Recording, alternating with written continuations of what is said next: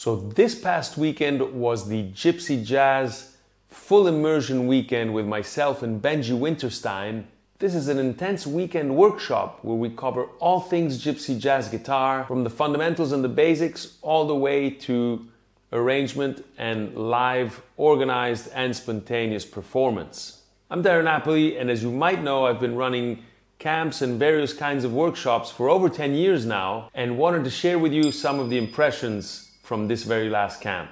Make sure to stick around until the very end. I will share with you my three main takeaways from this workshop, things that might be holding back your progress as a musician, things that you might or might not be aware of that I think are fundamental to remind and that will help you be on the path of improvement. But first, sit back and enjoy.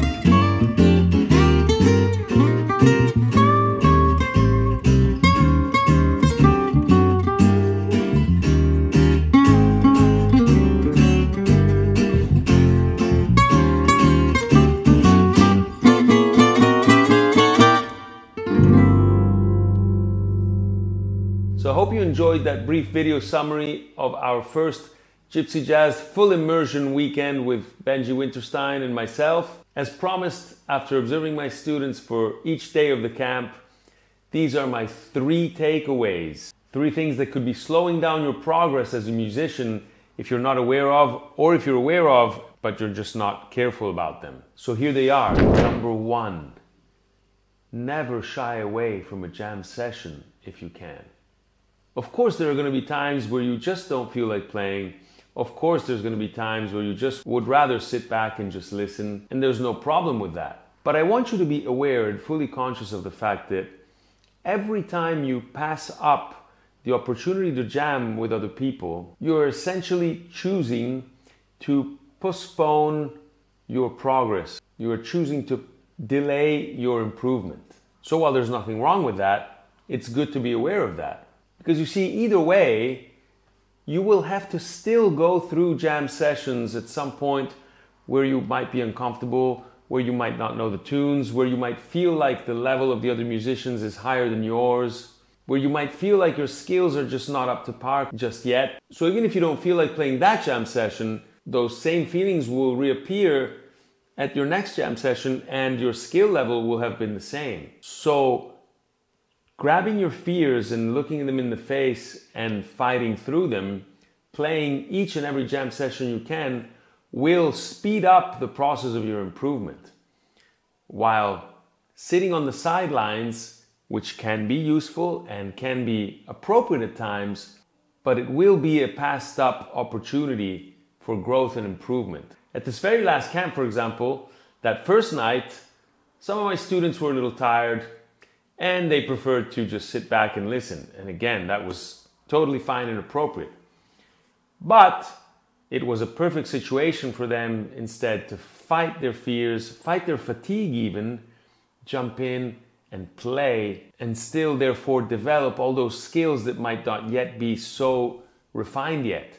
Skills such as learning tunes on the spot, hearing chord progressions and harmonic progressions that they might not have heard before and finding ways to learn them as quickly as possible. It also means relating to other players and learning to react to cues and inputs from other musicians. It means improvising on songs they've never heard before, and the list goes on and on. See, I know a lot of you are accustomed to playing in your living rooms and in your bedrooms, and of course, there's nothing wrong with that. But when that is the vast majority of the time spent in your musical life and with your instrument, there's a tendency to lose touch or to not develop those other so vital skills, which are the interaction with the other musicians, the ability to have the reflexes to react to cues and to inputs, the ability to listen while playing, and vice versa. Some of those things you can only train and practice while playing with other people and other musicians. So if that's not your day to day experience, any chance and any opportunity you get to jam and play with other people and develop those skills that cannot be fully developed and practiced at home, those should be taken advantage of. And like I said before, there's nothing wrong at times to just know that you don't feel like playing and accept it and enjoy the jam as a listener. But if you're truly, truly committed to your improvement, any chance that you might get to play with others and develop those skills is crucial to take advantage of and put your current abilities to the test and force yourself to not look at your instrument but look at the other musicians. Listen with your ears and watch with your eyes where the music is going, what chords are being played, what harmonies are being played. Learning to use your ear in your phrasing and improve your improvisational skills regardless of what chords are being played or what the tune is. So, of course, in any workshop, I will never force anyone to play but I will always remind them you're postponing your improvement when you choose to opt out. You are delaying a process that you're going to have to go through and experience in any case for you to grow anyway. So sometimes it's a matter of really finding that energy, finding that determination, finding that motivation, fighting through maybe some fears or some resistance, and jumping into a jam and and accepting the challenge. Point number two always try to learn the new tunes on the spot. The best thing you can do in a jam session always is to try to figure out tunes on the spot, obviously, the ones you don't know. You must remember your two main senses, your eyes and your ears, are always at your service. You can watch other musicians and try to gather where the song is going or what the chords are or what the harmonic progression is or and or you can use your ears and pay attention to the bass lines and from there figure out what the chords could be and or the structure of the tune, whether it's a A A B A or A B, etc. And the thing is, it's not only so much about learning that specific tune on the spot, it's about developing those musical skills that once you acquire, you will never lose in terms of ear and recognition and memory. You see, bass lines are like melodies in and of themselves. Each tune has chords that have a lowest note. And when you can identify that bass line, you're very close to being able to identify the chord. Chords, as I've mentioned in this video before, which I highly recommend you watch again if you haven't already, come essentially in three families major, minor, and dominant. Essentially, so you can always boil down the chord or the function of that chord in one of those three families. So once you identify the bass line, the next assumption you have to make or the next determination you must make is is it a major chord, a minor chord, or a dominant chord? And then from there you establish its function. Is it a 2 of a 5 that leads to a 1, etc. So learn to develop and to trust those senses, your eyes and your ears. And since a structure or a tune is repeated over and over, and you always have another chance. So even if you don't get it right away, no need to get discouraged that tune will keep going for a while, especially if there's a few people in the jam. So you might try to determine a section or a part of the tune in the first choruses and then slowly gather the rest. And even if you don't get the whole tune but just some sections of it, you will have done yourself a huge favor in going through this process and you will have improved as a musician overall. Because you see, these skills, once you acquire them, you'll never lose them and they will help you tremendously anytime you go in solo for a tune or anytime you perform. Your musical muscle will be that much more developed. So, really try to resist that temptation to sit back and sit out just because you don't know the tune. Fight that fear or that resistance and just open your eyes, open your ears, and just do your best. Sing along with the bass line try to figure out what the chord is and try to play along. I mean, really, what's the worst that can happen? You don't get the tune anyway. Well, so what? Just trying is going to be huge anyway. So, just like a child who jumps in the water when they don't fully know how to swim yet, that's going to happen anyway. If you're going to want to learn how to swim, at some point you're going to have to go through that fear, go through that discomfort, go through that slight inability, and anyone who learns how to swim at one point or another has to cross that path. So take advantage of all the jams and work your way through that process. I promise you will thank me and yourself, especially later. Last but not least, number three, learn to distinguish between your studying channel and your playing improvising channel. With my students, I like to refer this as channel A and channel B. Let's just call channel A your studying channel. That's the channel where maybe you transcribe the phrase and you want to learn it, so you repeat it. That's the channel where you play with the goal of learning or absorbing something new. That's the channel where you're not satisfied until that certain phrase or technique or lick comes out as well as you imagine it and as well as you desire.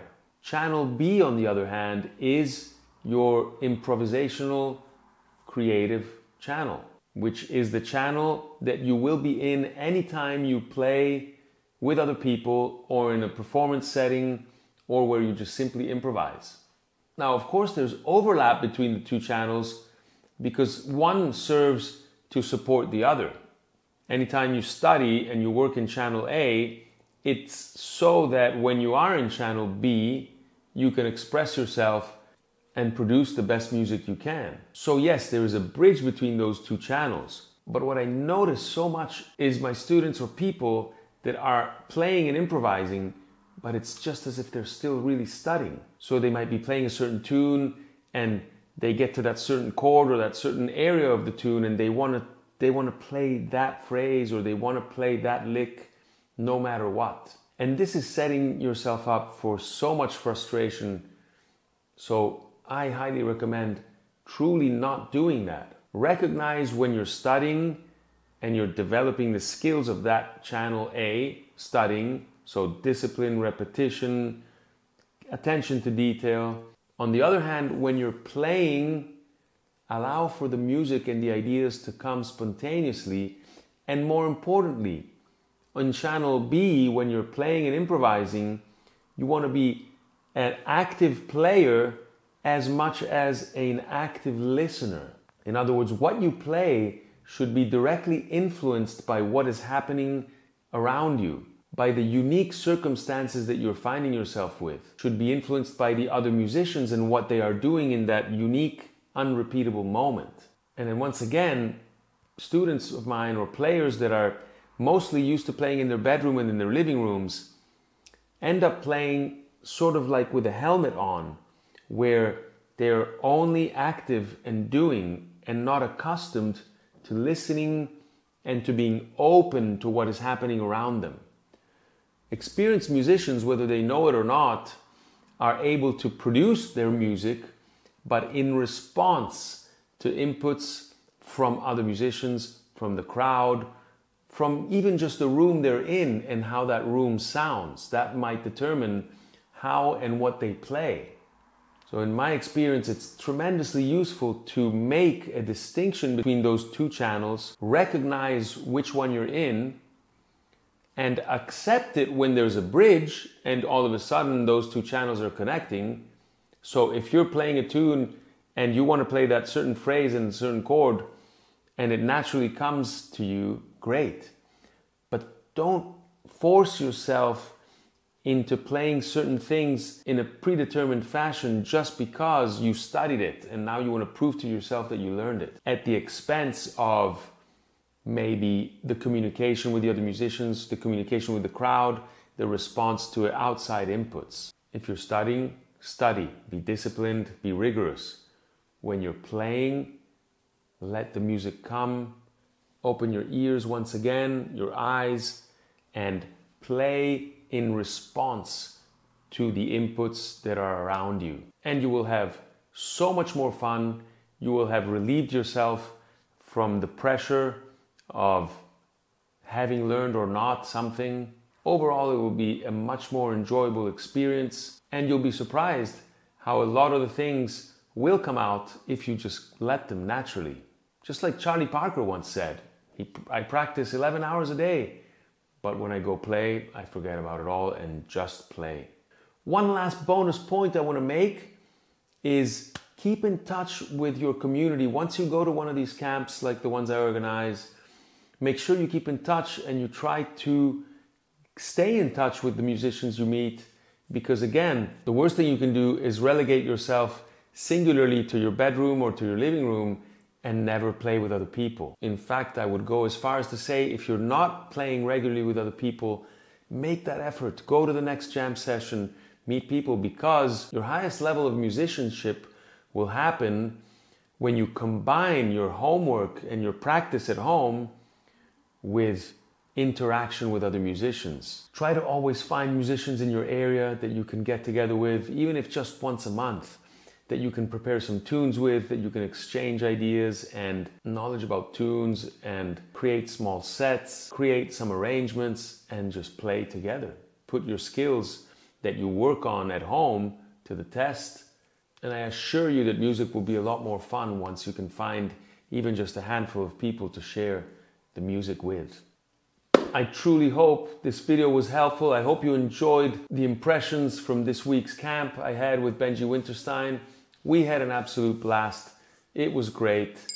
I want to thank Agriturismo I Leprotti, where we held it, Mademoiselle Café, who treated us to some great food. Feel free to reach out in the comments if you would like to be notified about our future camps. In June, I always hold my Under the Tuscan Sun camp. This year will be year 10. So I'm so excited for that. But we will have several weekend camps coming up in the next few months. So let me know, of course, in the comments if you're interested. Don't hesitate, of course, if there are questions, also leave them also in the comments. And don't forget, as always, in the description, you'll find links to useful tools such as my latest ebook, Gypsy Jazz Guitar Mastery, the link to my free Zooms on Tuesdays, as well as the link to my free transcriptions. Thanks for watching this video if you've watched it so far. Don't forget to, of course, put your like, subscribe, and all that YouTube stuff. I will see you in the next video.